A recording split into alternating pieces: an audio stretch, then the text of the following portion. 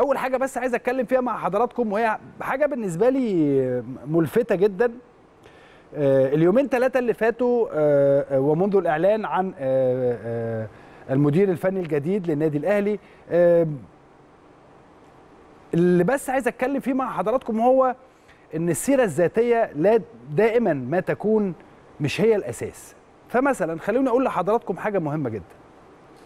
وأنا الكلام ده أنا سمعته بقالي يومين ثلاثة كل الناس عمالة تقول لك أصل مستر مانويل جوزيه ما كانش عنده آه، CV ومستر آه، آه، فلان ما عندوش CV قبل ما يجي النادي الأهلي والكلام ده كله. بالفعل هو الكلام ده مظبوط ولكن أنا مش هتكلم في هذا الكلام. أنا هتكلم في كلام قاله مانويل جوزيه المدير الفني للنادي الأهلي. مانويل جوزيه دائما خلال ست سنوات كنت أتشرف بالتواجد معاه. كان دايما يقول لك إيه؟ إيه الحاجة اللي بتحقق النصر أو الفوز دائما؟ الطموح. الطموح هو اللي بيحقق النصر والفوز دائما. بمعنى إيه؟ بمعنى إن إحنا كنا بنلعب دوري. فالدوري كان بيخلص قبله قبل ما ينتهي قبل ما تنتهي مباريات الدوري بست أسابيع. طيب أنت عندك ست ماتشات.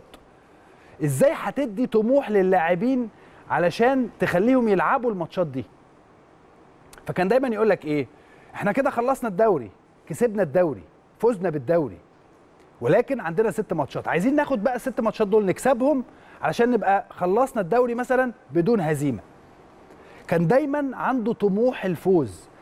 كان دايما عنده طموح إن أنت تفضل دايما في الملعب واقف على رجلك حتى لو كنت خلصت الدوري مثلا. زي ما قلت لحضراتكم وهنا أنا مش عايز أتكلم على الإدارة علشان ما حدش يطلع يقول لك كذا وكذا ولكن هي دي الحقيقة. ان إحنا بعد مباراة الصفاقسي اللي كانت في تونس الطموح برضو أنا عايز هنا أتكلم عن الطموح. بعد مباراة الصفاقسي آه، لما كان النادي الأهلي بيلاقي الصفاقسي في نهائي بطولة دوري أبطال إفريقيا ومحمد أبو تريكة جاب آه، آه، النجم محمد أبو تريكة جاب هدف في الدقائق الأخيرة من عمر المباراة. مصر كلها كانت بتحتفل الأهلاوية يعني كلهم كانوا بيحتفلوا. مجلس الإدارة وم- ومستر مانويل جوزيه في ذلك الوقت كان عندهم فكر تاني أو كان عندهم طموح تاني. الطموح التاني ده كان إيه؟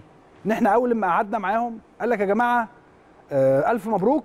أنا قلت القصة دي كذا مرة ولكن هو وقتها دلوقتي بالمناسبة. آه، قال لك ألف مبروك يا جماعة.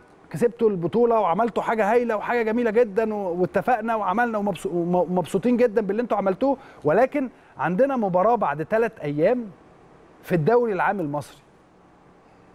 هنا الطموح. مجلس إدارة النادي الأهلي يحمل طموح كبير جدا وبيحترم جمهوره وبيحترم كل آراء الجماهير.